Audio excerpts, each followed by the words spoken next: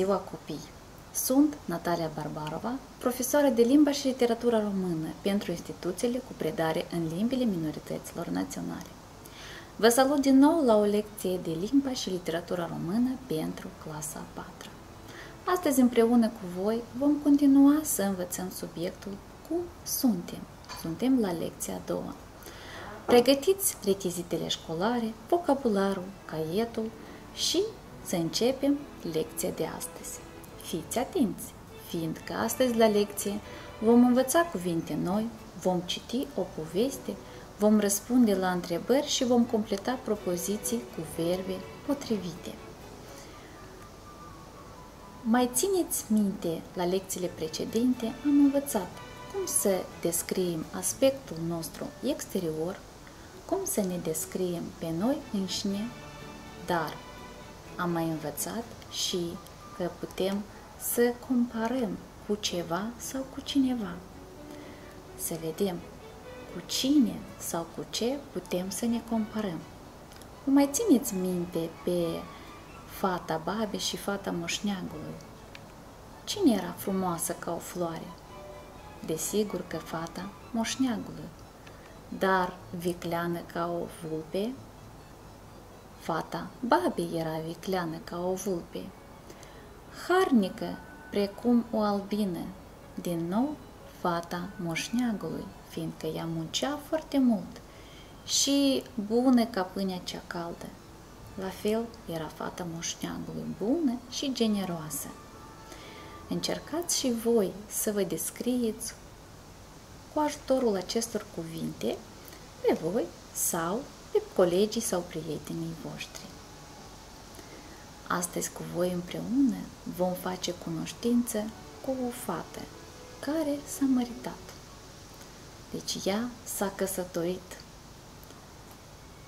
Înseamnă că a plecat din familia în care locuia la fam- în familia soțului. Pentru familia soțului ea era noră, fiindcă ea era soția fiului. Vedem aceste cuvinte în imagine și reținem. Mai departe avem o fetiță care se gândește la mâncare. Desigur, ea este flămândă. În textul nostru de astăzi vom întâlni forma îi era foame. Înseamnă că voia să mănânce.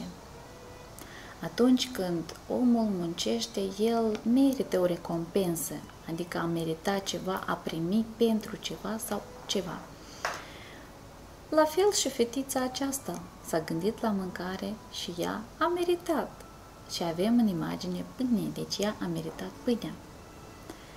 O mai țineți minte pe această albinuță muncitoare?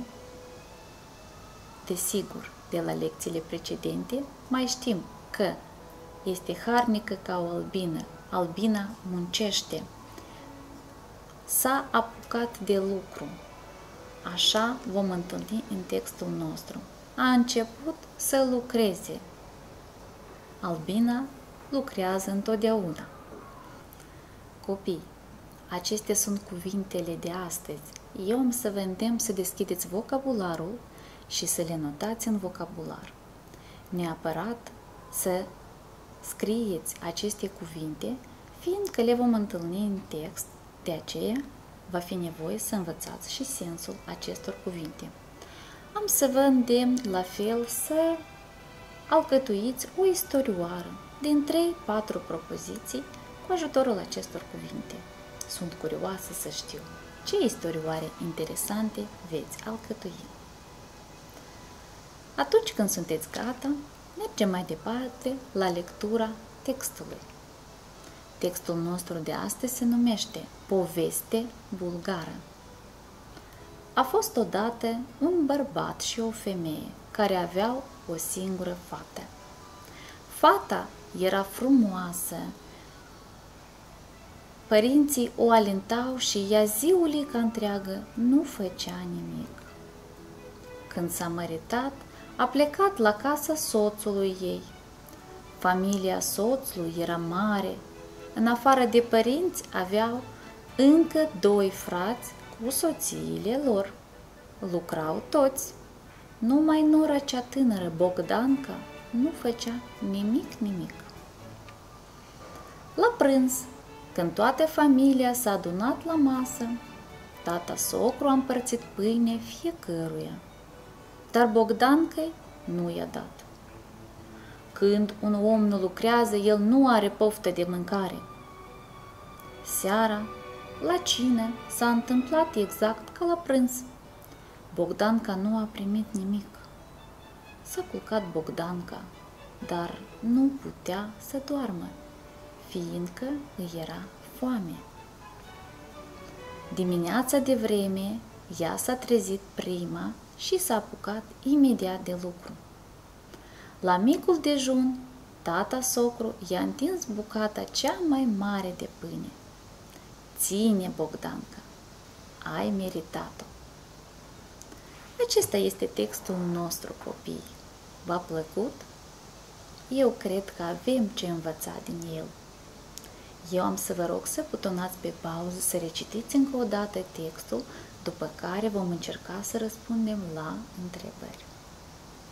Atunci când sunteți gata, continuăm. Copii, în continuare, să încercăm să răspundem la întrebări. Avem patru întrebări simple. Textul nostru de astăzi ne va ajuta să răspundem. Cine este Bogdanca? Desigur, am înțeles și știm că Bogdanca este o fată tânără și foarte frumoasă, dar leneșă și alintată. Cum credeți? Ce a înțeles Bogdanca? Credem că la această întrebare ați răspuns în felul următor. Bogdanca a înțeles că pâinea trebuie câștigată prin muncă. Dar de ce nu putea dormi Bogdanca? Bogdanca nu putea dormi fiindcă era flămândă, ea se gândea la mâncare. Și ce se va întâmpla cu Bogdanca mai departe? Cum credeți voi? Desigur, Bogdanca deja în continuare va fi silitoare și harnică ca o albină. Ea a înțeles că trebuie să muncească. Așa ați răspuns și voi copii.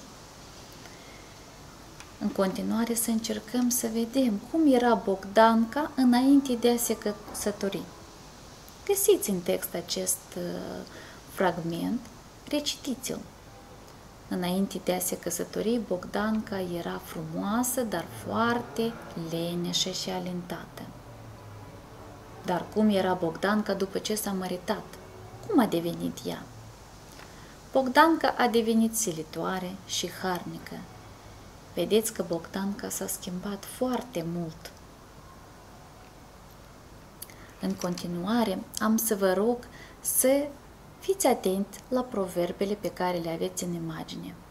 Va fi nevoie să potriviți unele proverbe și să-l găsiți pe cel care este nepotrivit ultimului fragment.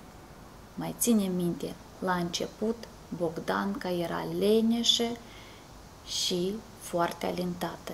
Spre final, Bogdanca era silitoare și muncitoare. Deci, sarcina voastră este să găsiți proverbul nepotrivit pentru ultimul fragment. Avem proverbele. Cine nu muncește, nu flămânzește. Omul muncitor e ca un pom roditor la lucru în coadă, la mâncare în frunte. Cine lucrează, acela merită să mănânce. Care dintre aceste proverbe este nepotrivit pentru ultimul fragment?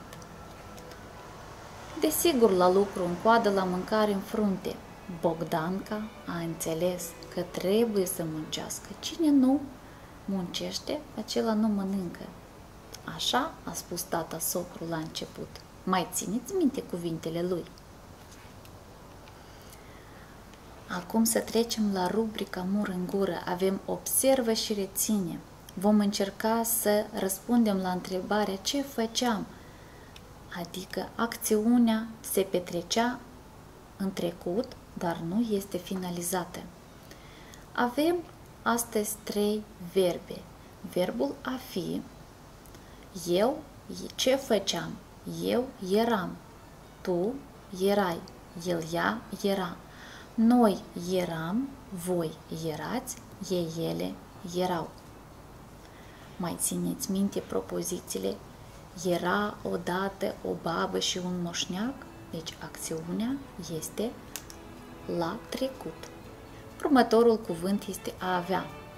Eu aveam, tu aveai, el, ea avea, noi aveam, voi aveați, ei, ele aveau. Mai țineți minte pe părinții Bogdan căi care aveau o fată tânără și frumoasă. Și ultimul a lucra. Eu ce făceam? Eu lucram, tu lucrai, el, ea lucra, noi lucram, voi lucrați, ei, ele lucrau. Am să vă rog să rețineți aceste structuri și forma acestor verbe, să le notați în caietul vostru de lucru. Posibil veți avea nevoie în continuare să le folosiți. Mai departe, am să vă rog să exersați. De aceea, butonați pe pauză, rețineți cuvintele, după care continuăm. Să exersăm împreună. Avem un textuleț foarte mic. Eu îl citesc cu verbele care lipsesc. Voi veți avea sarcina să completați aceste propoziții cu forma verbului cerut. A fost odată un bărbat și o femeie care ce făceau? O singură fată. Bogdanca ce făcea? Foarte frumoasă. Ea ce făcea? Alintată și leneșă. Când s-a măritat, ea nu ce nu făcea. Soțul ce făcea? O familie mare ce făceau? Toți.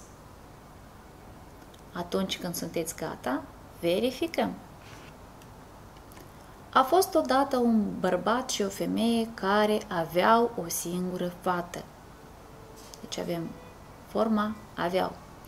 Bogdanca era foarte frumoasă. Ea era alintată și leneșă. Când s-a măritat, ea nu lucra. Soțul avea o familie mare. Lucrau toți. Verificați, vă rog frumos, aceste cuvinte și corectați în cazul în care ați avut unele greșeli. Acum am să vă rog să alegeți creionul potrivit pentru a însemna. Ați avut mai multe greșeli, ați avut unele greșeli sau v-a reușit totul. Dacă v-a reușit totul, putem să continuăm cu succes. Dacă ați avut unele greșeli, mai exersați și corectați neapărat. Pe parcursul mai multor lecții am învățat cu voi cum descriem aspectul exterior, cum descriem caracterul. Eu vă propun două persoane, un elev și o profesoară. Vă îndemn să exersați independent și să răspundeți la întrebările care vor urma, astfel veți obține o descriere a unui elev și a unei profesoare. Mai întâi de toate, nu uitați să spuneți cum trebuie să arate un elev. Vorbim despre aspectul exterior, nu doar înfățișare, dar și îmbrăcăminte. Și cum trebuie să fie el, ce caracter trebuie să aibă. Dar o profesoară, cum trebuie să arate o profesoară copii? Și ce trăsături de caracter trebuie să aibă? Răspunzând la aceste întrebări, veți obține descrieri destul de frumoase și complexe. Și asta va însemna că ați fost atenți pe parcursul mai multor lecții și puteți realiza această descriere. Și eu sunt mulțumită de faptul că am putut să vă explic ceva util. Spre finalul lecției de astăzi, să vedem ce am realizat. Astăzi am învățat cuvinte noi, am citit o poveste, am răspuns la întrebări și am completat propoziții cu verbe potrivite. Am realizat multe sarcini. Eu vreau să închei lecția de astăzi cu un proverb. Cine muncește și învață, devine om deștept în viață. Copii, eu vă doresc succes și să aveți o zi frumoasă. La revedere!